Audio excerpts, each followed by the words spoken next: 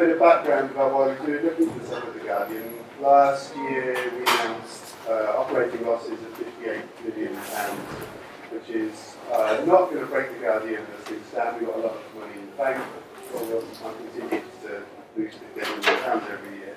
So there's a lot of changes going on within the Guardian, uh, not the least of which are this loss of 250 jobs across the organisation.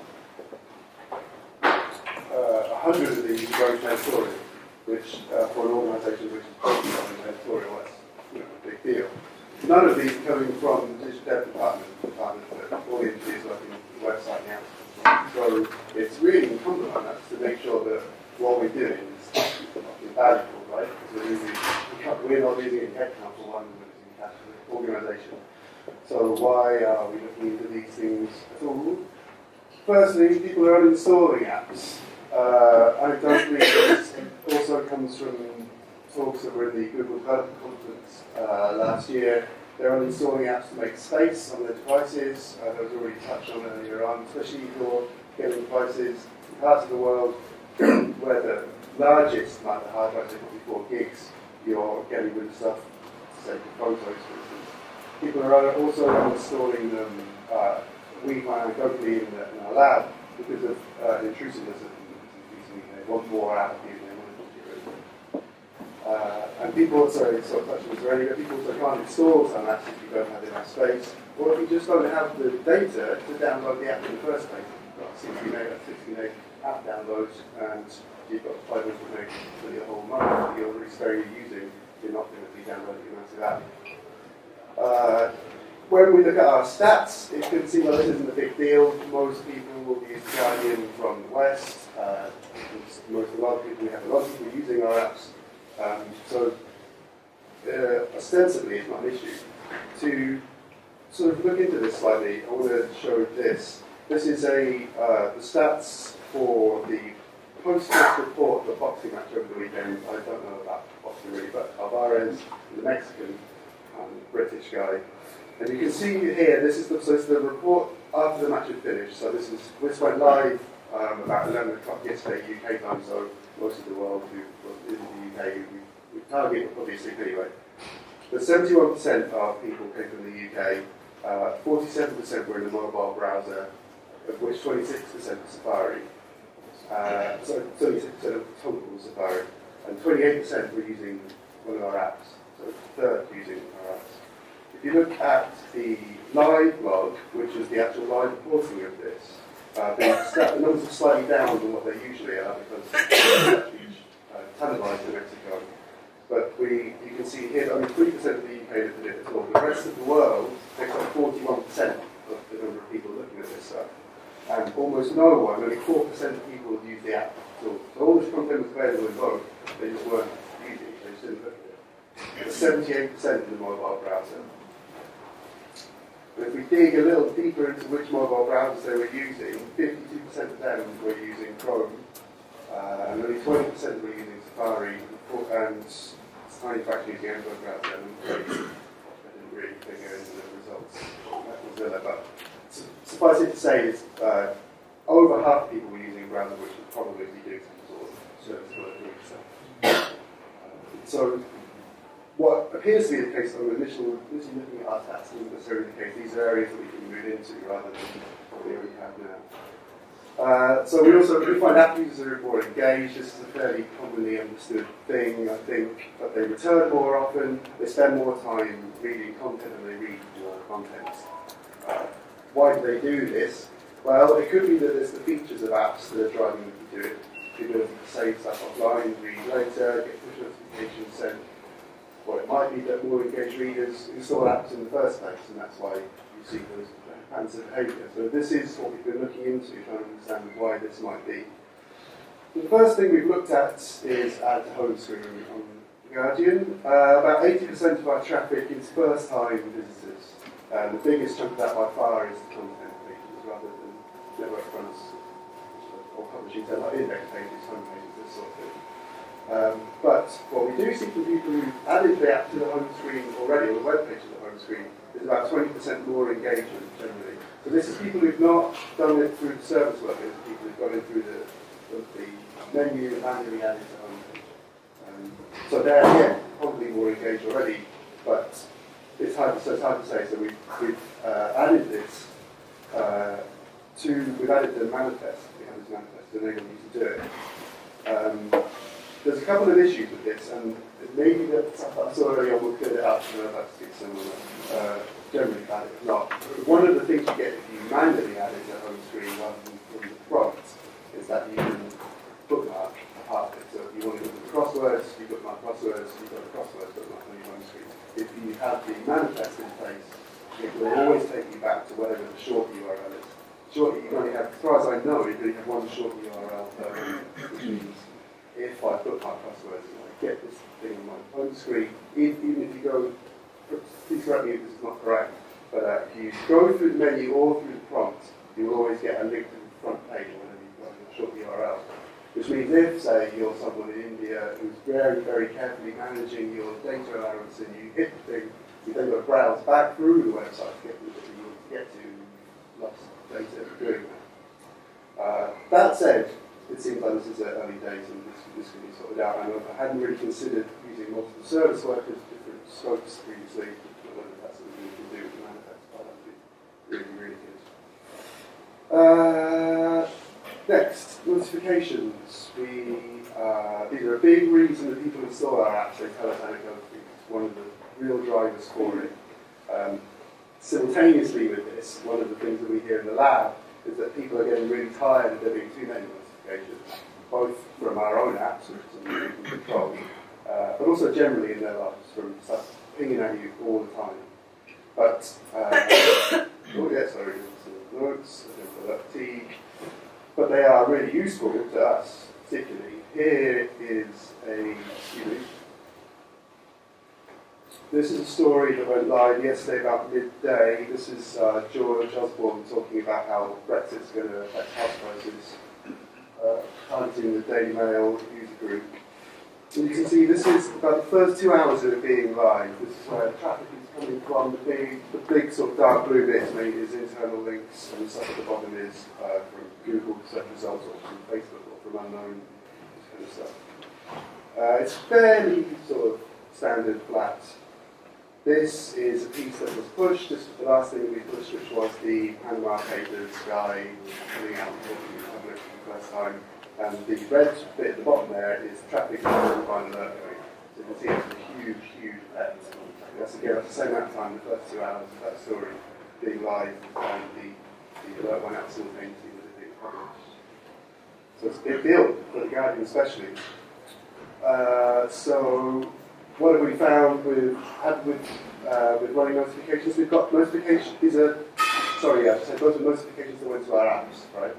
So we're testing now app notifications on the web. So we'll come to that actual implementation in a sec. The things that we found in the lab when we were putting them together is that people are not clear what it means to have a website send a notification. When you check your browser, you just close the website. What do you mean you're going to send me notifications after I've done that? that they didn't really understand what something the browser could do, what the website could do. They commonly thought opening an email, up basically a newsletter, they expected there to be a cost attached to it and that they would have to sign up. It was something they didn't really understand could happen based on, on the instance of that one browser. Uh, so because of this, these reasons, we're actually looking at uh, implementing notifications per content rather than across the whole website. So this is for types of article which have versions, so currently having large logs things on the every few minutes and uh, on the live to the key events. We'll come to the that's the notifications on, which uh, they're journalistically determined, they're far less frequent. But what this means is very low friction uh, opt-in. If you opt into this, you know it's a short-term commitment. When this piece concludes live log end, you're not going to get any more notifications from us. You can quite quickly do it, uh, get, get in and out. And it also means we don't have to make a preference page we, haven't signed up to receive notifications from the fact, just for this one. So it simplifies things a lot. So, uh, if you want, we can try them out. They're kind of in a 0% test at the moment. Um, but they're available to try. There should be a live blog running now. Um, have we just got to finish at half past? Is that correct? Twenty past? Okay. So we'll come to this in a sec, but the Guardian is not fully HTTPS, and obviously that's a requirement. So we're moving slowly towards it, uh, section by section. But there is a test you can opt into to go fully HTTPS on the Guardian. So if you want to try it, you're going to have to opt into that, which, which short URL will opt out. Will be permanently HTTPS for the Guardian. And there is also then this short URL which will opt you the test itself. Uh, but if you do this, you'll then be able to go to the politics section, probably the best, page to go. We'll find a live blog, and you should, part way down, obviously only in a, in a, in a uh, Android or uh, Firefox or um, Opera browser, or Chrome browser, you should be able to see a button there offering you the opportunity to see live updates for us. But no one outside the organisation let me go over it yet. So maybe the worst content to try it out. yeah. But let's see what happens. Does anyone want to keep those URLs up there? No? Okay, so I'll move on. I hope that, I hope that works as well. Then we've got a. Let's see what happens. Someone shout if they get one. Uh, so what have we done for this? Not much. It's a bit too soon for us to really know. We're still trying to say it's not even published. Um, I think was it today? Maybe we maybe it may be that the alert's actually becoming not an opt-in at that point, or the offer the offer opt-in. It might be going out today. Um, but as I say, the, the people's uh, what people say about why they install apps is for these notifications, and it's specifically when you look at places like South America, Philippines for boxing, India for cricket, people are all hit these live blogs from there, whereas the places where they don't want to download apps and this is where um, get involved, I should say this has not been without some pain. Apparently I didn't work on this, it's been a bit tricky. Uh, by all accounts with the release of Chrome 50, a lot of those problems have gone away. Um, the final issue, which I guess is probably because it's new, is that encrypting payload is a necessity, is great. It seems like it should be, but that's apparently extremely complicated. It's a lot like 10 steps to encrypt this. Uh, and we send them from Java. There's no actual Java library we're doing this we it all man- manually. I think there's a couple of things in JavaScript, couple of slides which are starting to, should handle this. But so it's, it's all doable. It, it's early days. Uh, that's it's not like plug and play, watch and go. Uh, okay, so the other next thing we've been looking at is an offline page.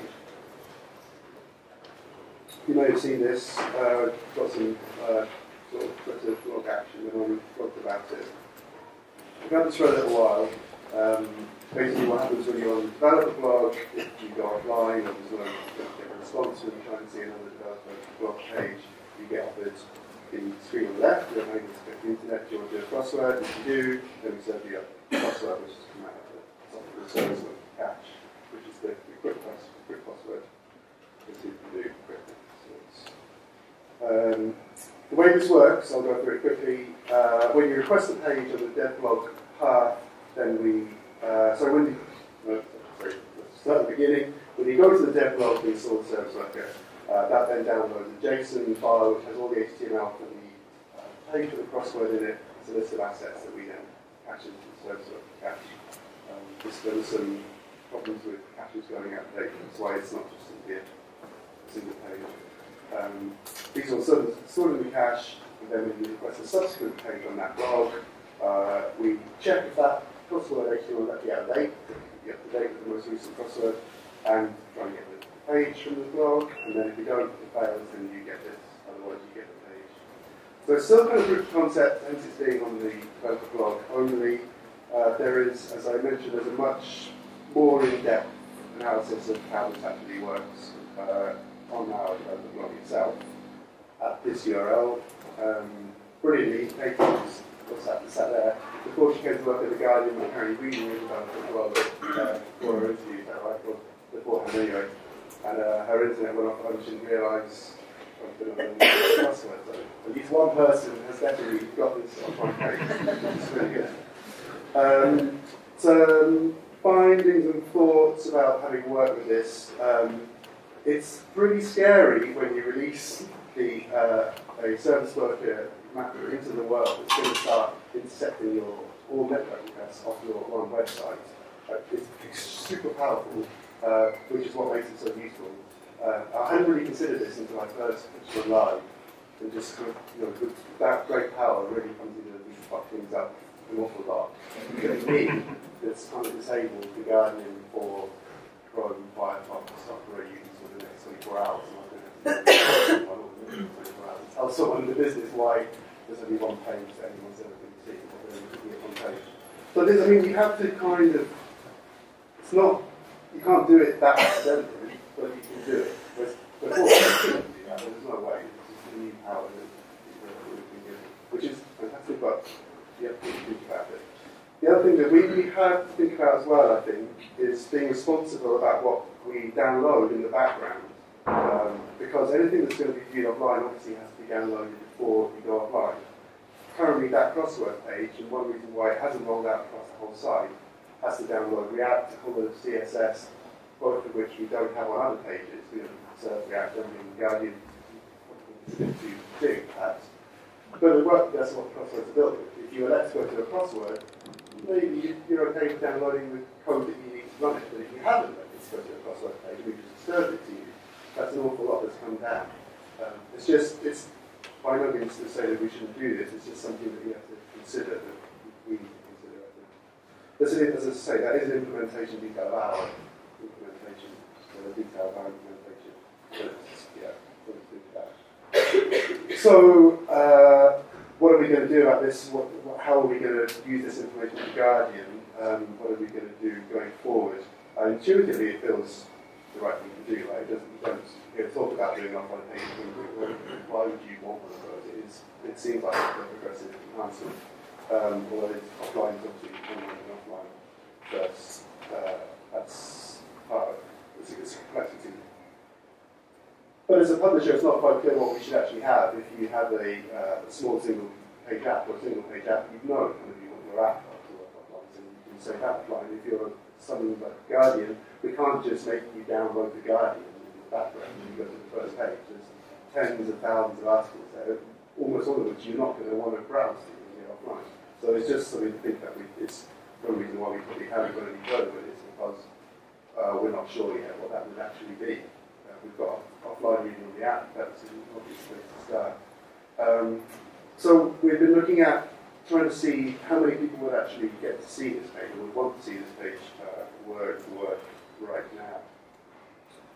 Uh, so we've added a very simple HTML page, uh, which is currently uh, pushed to all on-domain failed HTTP fetches for all the sections on our HTTPS service.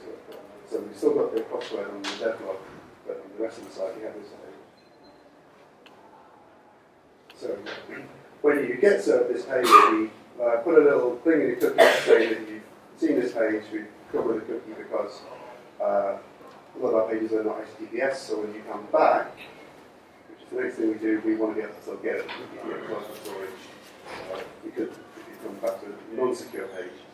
And then we do our own service back to get some kind of primitive metrics uh, about how many people actually see an offline page who could see an offline page. So yeah, this measures offline, so for a number from this, offline visits as a percentage of page views of HTTPS sections by capable browsers are currently 0.2%. It's a pretty small number, really. Uh, it's hard to see where you would go from here. There are some things to think about, though, with this. That is a, almost definitely an imperfect metric right? It's, it's pretty baroque dance you have to do in order for that to actually get something on our servers registering a page. Um, there is no expectation from anyone that they could use the Guardian offline. So what this is measuring is probably people who didn't know they were about to go offline, found they had, tried oh, great, I'm back. That's not what you necessarily build an offline page for. Uh, it probably only catches Lie-Fi. Earlier on I misheard someone talk, about live before here when I was writing this. use Jake's phrase Lie-Fi. I misheard it entirely and thought it was Li-Fi. Like, too much like nice notion. But it's not, it's not that it's lying to you, it's just that you're drifting around and you're on a train coming and going. You know, it's of a of not. Uh, so yeah, breaking connections, and it's, as I say, people are already trying to reconnect soon, but that, that doesn't feel mystery. What we don't know about is people who would deliberately try and get to the Guardian when they know they can't get to the Guardian. And that's possibly the most important uh, group of people that we want to touch. The other thing to think about is that 0.2% is a small number, but if you, depending on the scale, it could be really significant. If we uh, extrapolating that to all Guardian page views, that's 75 to 100,000 a day. So it's kind of, it's not something that's insignificant in that respect. Um, so, anything else we want to look at? Yes, fonts and asset management generally in terms of cache. We currently put all our fonts into local storage when you first apply to the Guardian and keep them there. So we get them back out of local uh, storage as soon as possible that we'll able to download them. to prevent them second repaint as soon as they load, we inject them the. Um, yeah, to service local cache would be perfect for this. Uh, but herein lies a bit of an issue with using it for stuff like that, which is to say its uh, availability. Um, currently, 41%, 49% of visits to the Guardians are from browsers which support service workers, but 32% come from mobile Safari, so, and only 15% come from, from Chrome, Firefox, on Android, uh, on Android. What this means is we have whatever we, any kind of critical stuff that we would want to do in Service Worker, and it would be lovely to be able to on through Service Worker, that managed by that Service Worker cache. We'd have to have a fallback, and if you have to make a fallback, you give yourself a double overhead maintenance, uh, doubling the overhead maintenance overhead, which is uh, a frustration. But the, the thing to consider, I think, is to extend, the thing we would use it for is to extend what you can't do already, uh, or um, and the last thing I just wanted to talk about, which I mentioned briefly, is uh, moving to HTTPS. So we're doing very slowly um, at the Guardian. It's obviously a requirement for, for using any of this stuff. Uh, say, sorry, we're moving very slowly, but surely we have to be very careful. Uh, the big reason, we have a couple of problems with the old content, for instance, that has embedded URLs with things they're looking for HTTP resources, and then some fail and the work for HTTPS. But the biggest problem is obviously ads uh, for a company which is hemorrhaging cash currently. We can't do such a to jeopardize that. We don't want to start serving pages where ads disappear. Um, we're currently rolling it out section by section level and posted. So currently technology, science, crosswords, business, Guardian, jobs, microsite, and the info section is like about us. These have all been switched over already. These are all gone. Uh, there is, so yeah, we're doing this because it's slow. We're doing it slowly because of revenue. Uh, they, there's a couple of things, if this is an issue for, I just want to mention this in case anyone else is doing this currently where they're working. There's DFP, you're using DFP as a stability option, which will make sure that your ad inventory only has secure ads in it, um, which is very handy. We've also been asking for about the last six to eight months for secure ads only, and that apparently has been no problem getting those. The new lean spec from the IAB for ads also mandates this, so are super worried about it don't really going to charge for anything uh, apart from offline stuff, uh, off platform things. So, so far, so good. We haven't finished it yet. Maybe we're about to discover that the news section satisfied, who knows how um, So that's kind of it, really. Uh, some closing thoughts on what we found working with it. Is that support, support for this stuff is wide, but it's not total.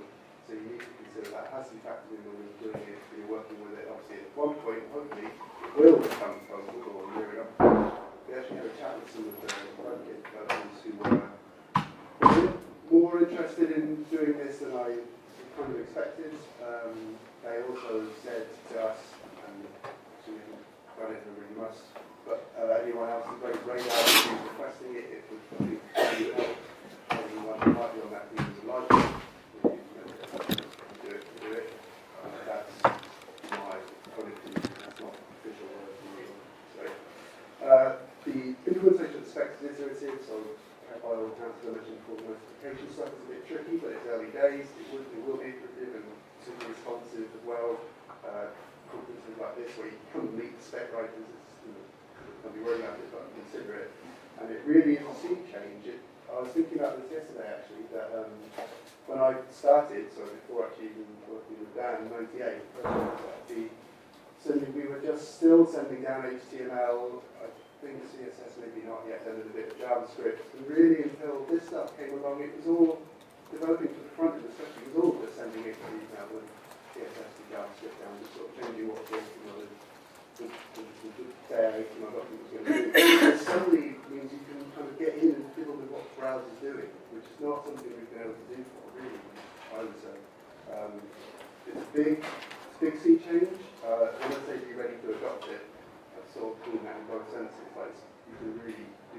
found it really useful, the potential of what we can do is really, really useful, So it's not like it was.